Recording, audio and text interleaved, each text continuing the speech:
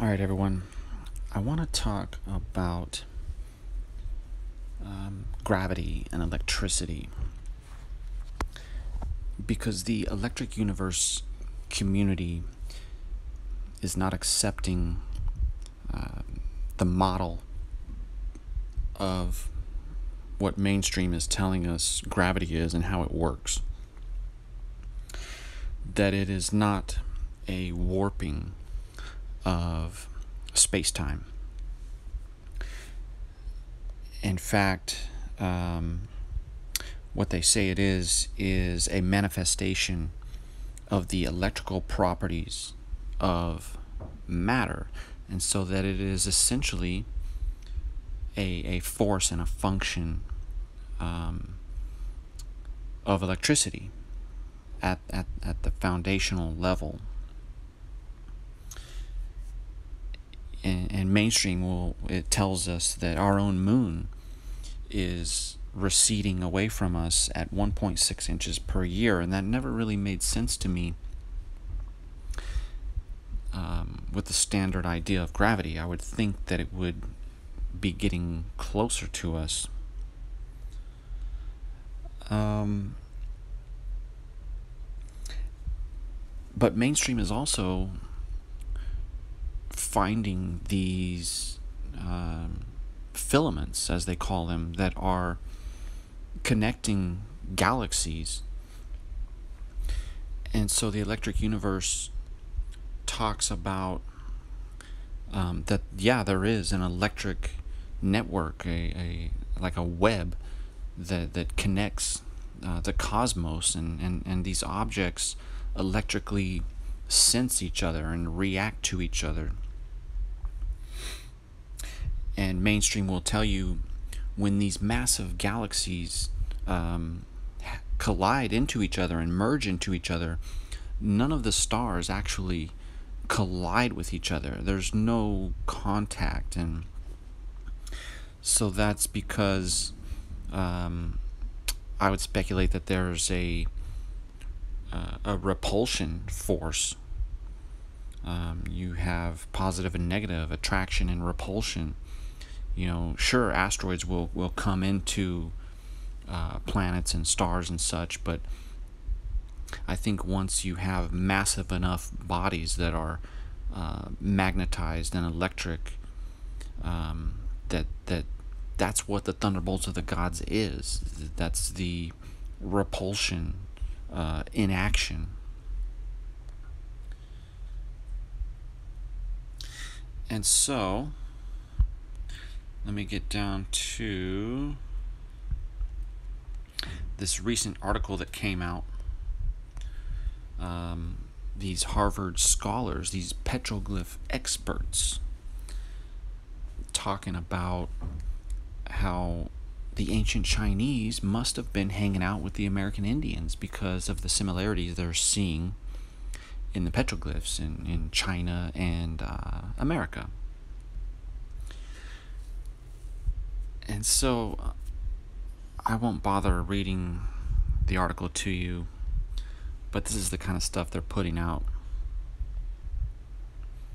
They show uh, these two images here from China and America, and I want to talk in detail about these images. Here's one of the experts.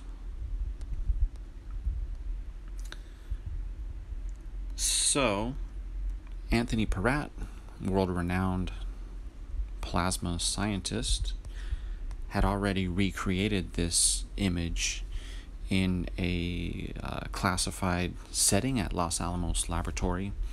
And when he saw that they were on rocks, it changed his life.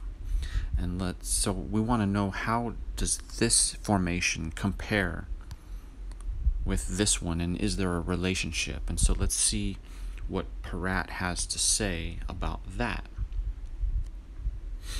The most essential issues concern the connectedness between seemingly different rock art themes. For example, was there a relationship between the Kayenta pictograph previously noted and the global stickman image, and why is the Kayenta form more sparsely recorded than the worldwide stickman image. There is a good reason for this, according to Peratt. The Kayenta pictograph signifies a critical moment just prior to a collapse of that more complex form into the simpler stickman form. The synchrotron radiation preceding that transition would have been deadly, making it close to impossible for humans to record the form while standing in the open. So he's saying that this was the more deadly, um, as far as radiation formation, as it was transitioning into this, which I would speculate stuck around a lot longer than the other one did uh, globally in the sky. And as to uh, how deadly it was, that's anyone's guess. And so, this is where this kind of stuff comes from, because it was witnessed uh, and documented. And I, I'm only going to show you a couple examples, but there are thousands. I mean, it goes on and on and on. And so I think these are the early depictions, uh, personifications of this formation that was seen. This is uh, probably later. These coins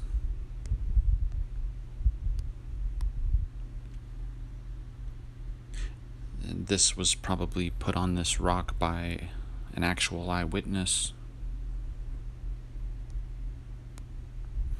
Um, pay attention to this feather looking thing here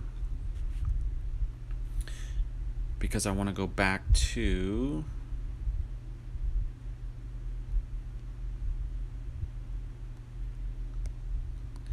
um, the Egyptian goddess Ma'at and her feather. That's a major uh, archetype. And voila.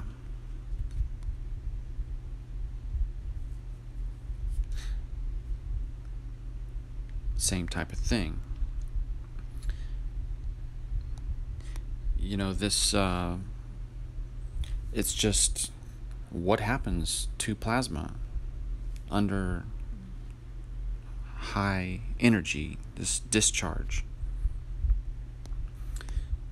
This torus, um, the leading edges were the densest, most visible portions, and it's sometimes arms up, sometimes arms down. It's it's dancing and oscillating. Sometimes arms looped, and so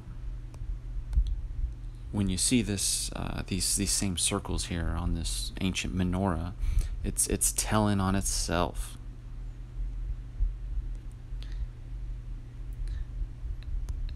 Here again, telling on itself.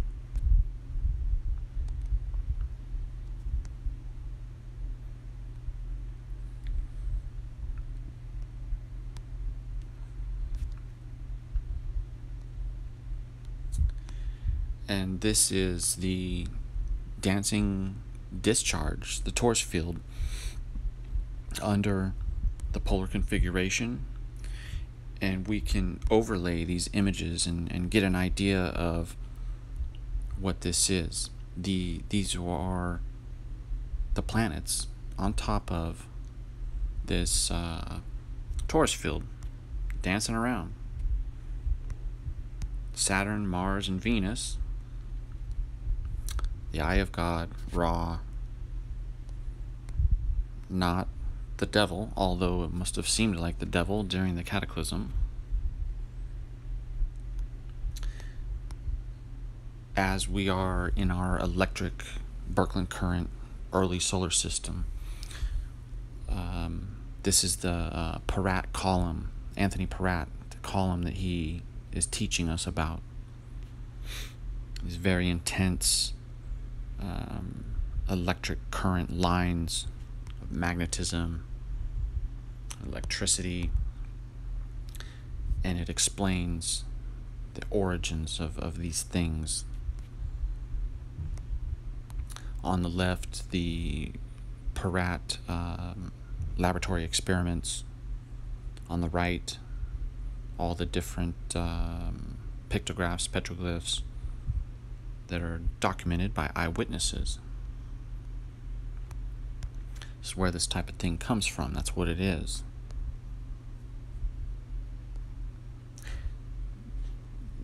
Maybe the Chinese were hanging out with the American Indians, but the Harvard scholars are far from the truth. Maybe somebody someone could send them some links and teach them about the dancing torus field. And it's interesting that it's called Taurus. And uh, as I've talked before about the bull of heaven, the crescent of the polar configuration and the descending plasma mountain, this was the bull of heaven. And even the constellation of the bull is called Taurus. And, and then we have words like torque and uh, tornado and a lot of Tor words, all going back to Taurus.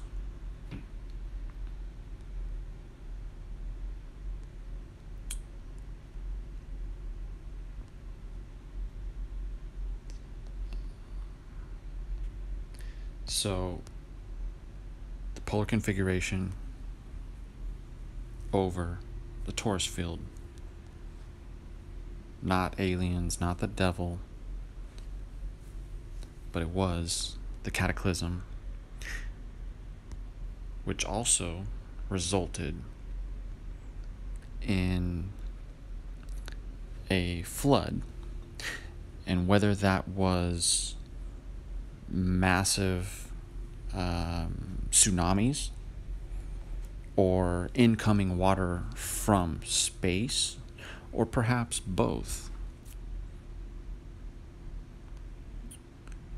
We are still trying to determine that. So, thanks guys for watching.